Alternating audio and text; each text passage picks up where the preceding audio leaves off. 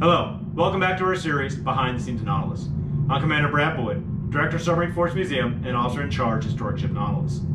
This episode, we actually finish up with crew's berthing in the forward portion of the ship, uh, part in a lower level and the rest in the after portion of the torpedo room. Uh, if you have any questions, please let us know. This will actually be the last episode in the hull. Uh, after this, we're going to be going uh, topside to the superstructure area, which is the area between the pressure hull and the uh, um, top of the deck, and then we'll be going into uh, the bridge, which is in the sail.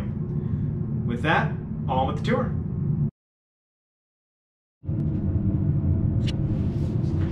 Okay, so going forward, we have two berthing areas here. So one down those stairs there, other down there.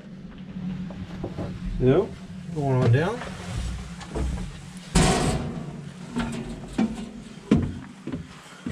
So pretty standard berthing area. No real difference from the other spots. Not much headroom, as you can see. So it's uh, not sure that I would actually be able to roll over without some uh, finagling of my shoulders. Um, but uh, modern boats, it's uh, instead of four high like you see here, or three high with a stowage area there because they couldn't fit another person underneath here, given the curve of the hull that you kind of see coming up there. Um, we have a little bit more room, so we only stack three high, uh, but that's the berthing over here. So personal lockers. So they would have this coffin locker, so that lifts up just like the other ones. All of these do that. And then they would have some personal lockers for storage of uh, whatever they need to store as well. So, uh, okay. Going up this side. And again down this half.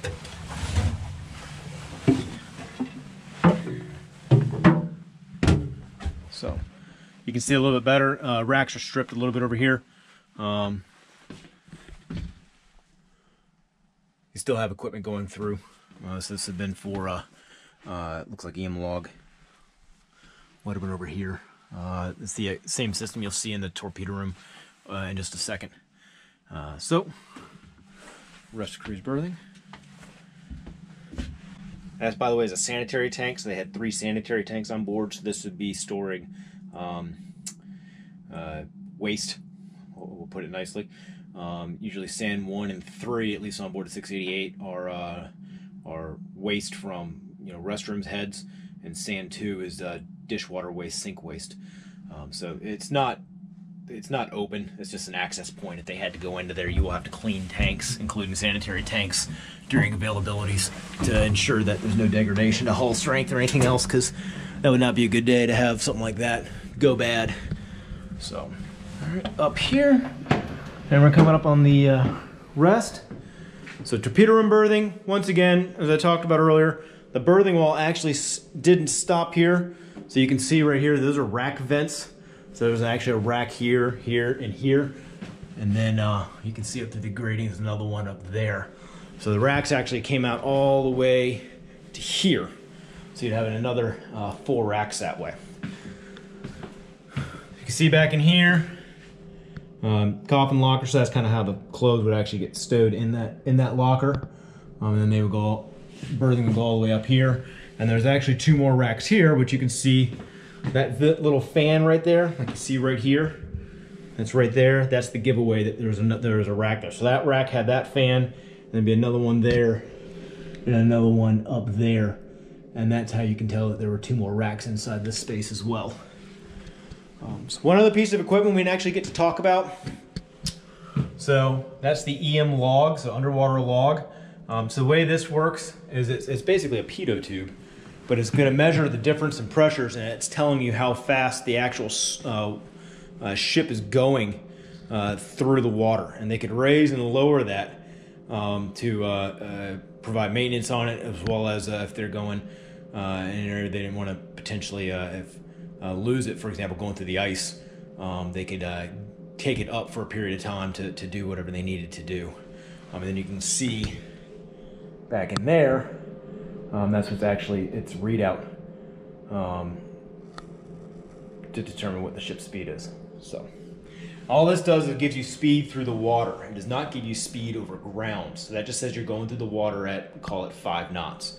Um, however, if the water is pushing you from behind um, at two knots, then you're really going seven, or it's pushing against you from ahead, then you're really going three. So this helps you estimate your position, but it's uh, it's not taking into account that the world is and the ocean is a treadmill, and you're either walking with it or against it, and how far you're actually going. For example, you could be doing five miles per hour walking on a treadmill, but you're not actually going anywhere. Same thing could be happening if you're doing two two to five knots in the water and you're going against a head current of two to five knots. Then really you're station keeping, um, or potentially even being moved backwards. I've had that at a point. I'm going slow enough, but I'm going against the current, and I'm actually making backwards over ground, even though I'm driving forward through the water. So, but EM log, that's how we actually actually measure our speed through the water. So. All right, so that does it for our uh, tour inboard. Um, next episode, uh, we'll uh, actually go into some of the upper areas. So I mentioned we're to be going into the superstructure. The superstructure is uh, uh, the area between the pressure hull, everything that kept the water out, and the wooden deck. And so it's a free flood area, so it's, norm- it's normally wet, it's not watertight by any stretch. Um, and that's the area we're going to be going into uh, next episode. And the episode after that, we're actually going to go into the sail and go up the sail into uh, the bridge. So we'll be actually up there uh, the following episode. So next episode will be down in here, and then following after that, up in the sail. Hope you all enjoyed today's tour, and uh, thanks for coming along. Bye.